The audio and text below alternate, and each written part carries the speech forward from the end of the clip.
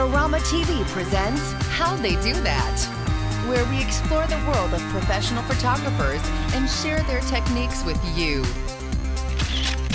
Here's your host, Mark Wallace. Hi, everybody. Welcome to this episode of How They Do That. I'm Mark Wallace. Well, today on the show, we have a fashion, lifestyle, and portrait photographer who also specializes in animal photography. Her name is Winnie Au, and she is joining us today. Thanks for joining us today, Winnie. Thank you, Mark. Well, let's talk a lot about, uh, you've got so much work that you do. I love your fashion work, your lifestyle stuff, but what really drew me to your portfolio are your portraits of dogs. So can you tell us a little bit about how you began to shoot uh, portraits of dogs and, and tell us about that process? Well, um, I've been shooting dogs since about 2004, and it's kind of something I fell into. Um, there's a picture on my website of a dog named Bombi, and it's actually the dog that used to live in an apartment building. I was um, living in Boston at the time, and my neighbor's dog would always hang out in the vestibule of my building. So one day I was just you know, I shoot with an RZ when I um, photograph dogs, and I had my RZ out, and I was saw Bombi sitting in the vestibule like she always was, and she was this adorable dog. Like she has some kind of limp, so she would always walk around, and you would see her, and she looked, she always looked kind of sad, but in a really cute way. So she was sitting in her favorite spot, and there was this, you know, beautiful light coming through the window, and I decided to take her portrait.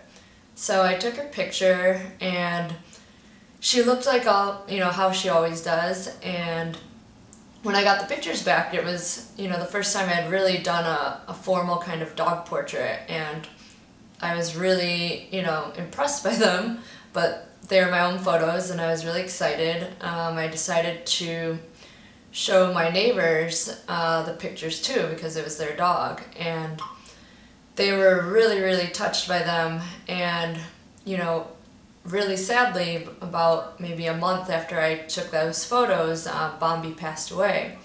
And, you know, I ended up giving a print to my neighbors and they just started crying. It was really, really sad, but like at that moment I realized how wonderful, like, something that I was doing could be for someone, that I could make an impact on people and really make them feel like um, connected and have a great memory of something that they, you know, was a big part of their family. So that kind of got me started, and ever since then, I've just been shooting, you know, any commissioned portrait that people want, and also, you know, personal projects. Well, one of the things that I noticed in your dog portraits is you really play on the strong connection between uh, dogs and the, their, their companions, their people companions. And so, for example, you've got a, an entire uh, book that's, that's coming out called Canine Chronicles that I, I love because it shows um, these fictional, uh, real dogs, but uh, fictional stories about those dogs. Uh, so you've got a, a Steve Jobs dog and a Charlie Chaplin dog, and it really shows that connection between people and animals that I love. Can you talk to us a little bit about how Canine Chronicles came about and, and some of the, the animals that are featured in the book? Sure. Um, Canine Chronicles came about because you're right. I wanted to do, you know, a story that was kind of more than just. Usually, I take kind of classic portraits of dogs in in their home environment, and I was looking to take everything a step further from you know really showing the human quality of dogs. So we decided to create a story where each dog would represent the, they would be the canine counterpart, as we call it, of a famous person. So Canine Chronicles was a Kickstarter project. That's how we funded it. And I'm making it with my sister. So my oldest sister, Alice, is doing all the design and layout. And my middle sister, Cindy, is writing all the stories. So we basically concepted it by using um, my pictures as a launching point and then using all the skills that me and my sisters have. We thought a historical fiction would be the best and like most fun way to create something together.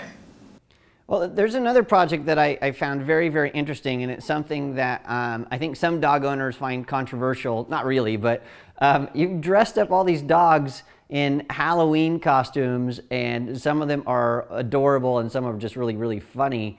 Um, tell us a little bit more about Halloween Dog Parade.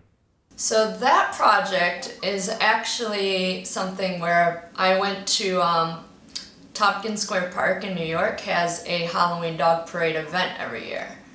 And it's actually thousands of dogs and they all come and there's a it's not exactly a parade like I thought it'd be little dogs marching around but it's actually all the dogs in a dog park and they're each owner dresses up the dogs and then there's a contest to see who has the best costume and you know it's totally crazy. Um, so I decided this year to do a personal project and take portraits at the event and we set up a studio outside. We uh, got everything all set and it was crazy. We just had I think I shot something like a hundred dogs no maybe 200 dogs in like four hours. And you know normally I shoot about one dog in two hours. So the sheer amount of animals was insane. But it was it was amazing. It was an amazing experience and so fun to see all of the dogs and all of their owners and people dressed up together. It was crazy. Well let's talk a little bit about uh, some of your other work. You've got some fashion work some portrait work um, and really, I, I, really love one of this, uh, one of these shots that you have, and it's uh, it's called Family Portrait, I believe, and it's of it looks like a mother and a daughter, and they are dressed in the same exact or very similar outfits as uh, two dogs that are in a different portrait. And so, can you tell us about how you conceptualized that and shot it? That shoot was for a designer named uh, Charlotte Tarantola, and she's a sweater designer out in LA and they came to me saying like, well, Charlotte usually designs sweaters for women. She's had a women's line for a long time. She also has a kids line and what they started to do is they, they had launched a, a pet line.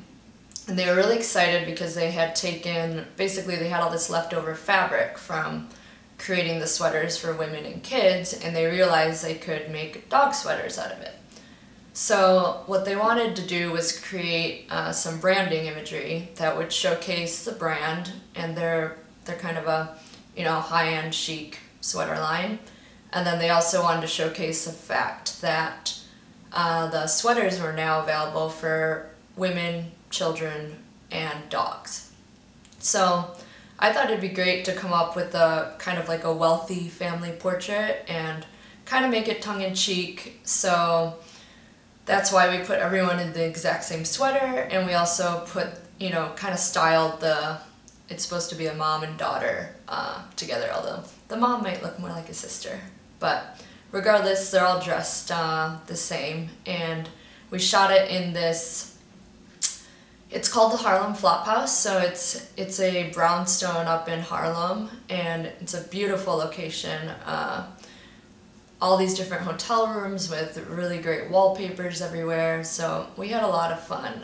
Well, one of the things that I, uh, I have a lot of people ask me about is to ask you what kind of gear you're using. So when you are shooting uh, your dog portraits or people portraits, what kind of cameras are you using? What lenses do you favor? What kind of lights, etc.? Can you walk us through sort of technically how you're making these uh, photos?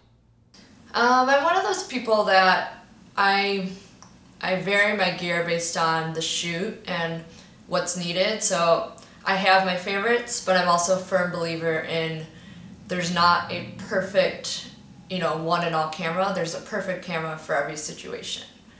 Uh, so for this particular shoot that we did for Charlotte Tarantola, um, I was using a Canon 5D Mark II, and it's definitely the camera that I probably use the most, I would say. It's a great all-around camera and it, it works for a lot of my projects.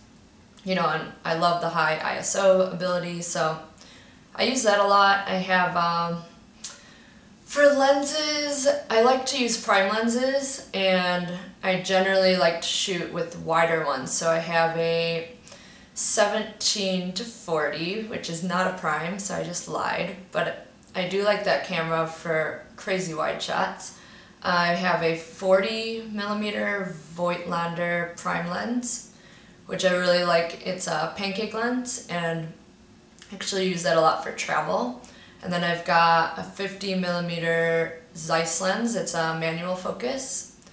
And I like that because it makes me feel like I'm using a real old camera.